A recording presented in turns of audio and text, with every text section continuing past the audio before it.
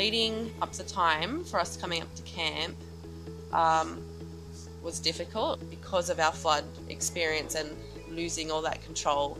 That they were very anxious about wanting to know all the details and potentially thinking it could be the worst thing ever. But it's actually been really, really great for everybody.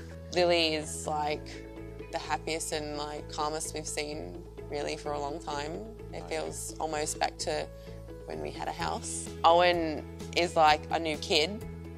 He's been loving all the activities and just coming out of his shell, which I didn't think would actually even happen.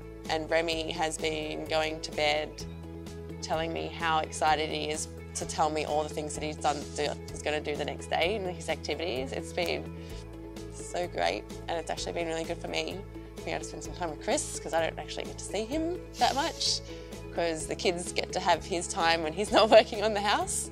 Yeah, it's been perfect timing just to take a break and reconnect with the kids and with Maree um, and just get some family time back because it's just been so long um, and so focused on dealing with uh, the aftermath of the flood.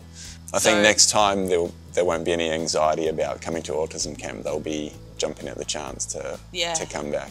I'd just like to say a huge thanks to the James Frizelle's Charitable Foundation and Autism Camps Australia for facilitating us to be able to come to this camp at this difficult time, um, to be part of the pilot program uh, for the Helping Hands.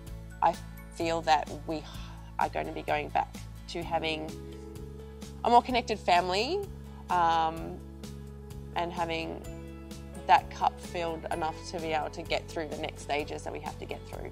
So I've really, yeah, I, I didn't come in with high expectations, but I'm leaving with a lot, with it being very, very full, um, over, overflowing really, of like how great it's been, and how great it's going to be for our family.